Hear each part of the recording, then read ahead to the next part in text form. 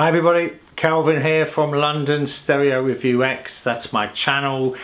I review vintage stereo equipment, mostly speakers and amps, sometimes modern equipment. And I've been dabbling with stereo in a sort of slightly insane way my whole life.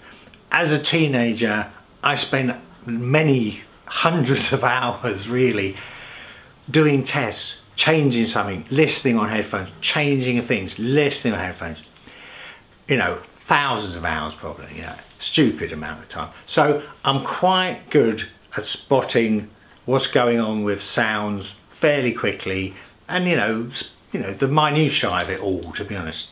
But anyway, so today I'm going to sort this out or deal with this subject of bi-wiring. There's some, you know, myths. Some people say it doesn't do anything. Some people don't believe in cables. I gotta tell you, cables make a difference. Sometimes all they seem to do is repress certain things, that can happen. But the fact, the idea that they don't make a difference is not true, if you ask me anyway. So I'm going to show you how to set up bi-wiring and then we'll talk about what happened and I've done experiments with, without, changing cables, all kinds of stuff. Okay, so uh, we'll do that now. So what is bi-wiring?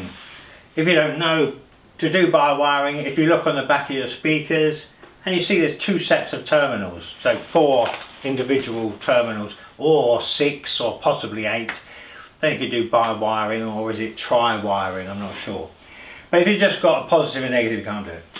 So what it is, is basically, so this positive and negative here is for the high frequencies is for the tweeter, yeah? And this one here is for the woofer. It's a two-way speaker, yeah?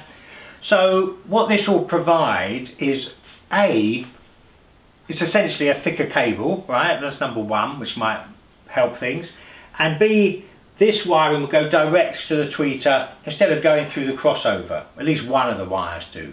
So that's the, uh, that's the idea of it. And I'll show you on the back of the amp how uh, it connects there. So let me just move that there.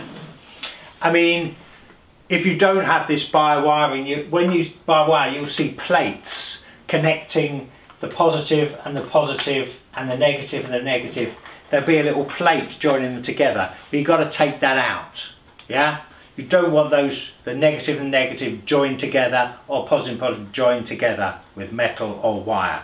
That's got to come out, yeah? Okay, let's just quickly look at the back of this amp. So, I mean, there are different ways, two ways really of doing this. I mean, I've got two sets of speakers on this amp. So, you know, this is right hand, positive, negative, and again, right hand, positive, negative of the second set of speakers, yeah? So, when I play this, and I can select speakers A, speakers B, I can actually listen to just the woofer or just the tweeter if you want. So, you know, have them both on, else it will sound totally rubbish. Um, if you don't do that, and I'll quickly show you in a close-up way, you know, if you don't do it in that technique, what you're going to do is take one of these off and put that red cable into this banana plug.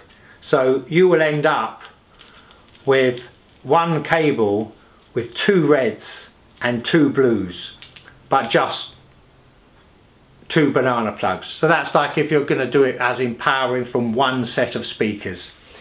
But I've got two sets of speakers, so I am going to do it that way. Okay, one second. So, let's talk about what does it sound like? Is it better? Well, if you want a quick answer, it's yes. The answer is yes, okay? Um, I'll tell you the whole experimentation or system I went through. You know, I did a proper scientific thing.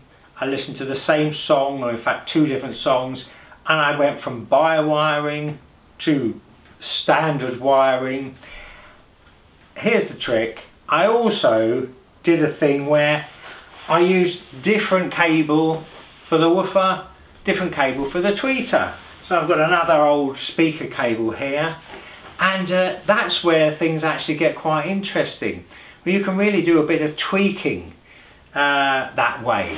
So, okay, what can I say? Put simply, the difference bi-wiring these or not. I mean, these aren't incredible speakers, but this is a great amp, I've got to tell you. Sugden A48 which is better than my Naim NAP 100 which is 50 watts a channel. That's 50 watts a channel. This is just great. And I used an Arcam Alpha um, CD player. But uh, so the difference between bi-wiring single wiring everything gets a bit better yeah so, you know, you're just, uh, it was just a universally better thing. It wasn't like, oh, the bass didn't do anything, or the treble didn't anything, or the sound stage didn't do anything. Everything just went, it just got a little bit better, a little bit richer, a little bit more detailed, a little bit better sound stage, yeah? I mean, eh, you know, I thought, well, how can I describe this, you know? I would say, you know, like, 4%. You know, something like this, you know. The sort of thing that if you weren't paying attention, you wouldn't notice. But it's worth having because, you know, it'll play out well across time. You know, what you notice immediately as a slight difference, it will be more rewarding, you know, for the years ahead. So, you know, let's say, put simply, yes, it works. It's true. It sounds better. You're you're basically using double cables yeah? So you're using thicker cable for a start and it's a more direct route inside. So you're cutting out some circuitry. Uh, what can I say? It sounds better. But let's go on to some of the other sort of interesting things. So what I did was I got this other cable here which is a you know just another cable I had knocking around. And I put this into the high frequency driver and I left those other cables which are actually called uh, they're called Van Damme. Yeah those other cables I've got them off Amazon. I know that it's not Van Den Hul it's Van Damme. I don't think they're very famous. Uh, someone can tell me but I don't think they're very famous. But they're okay you know.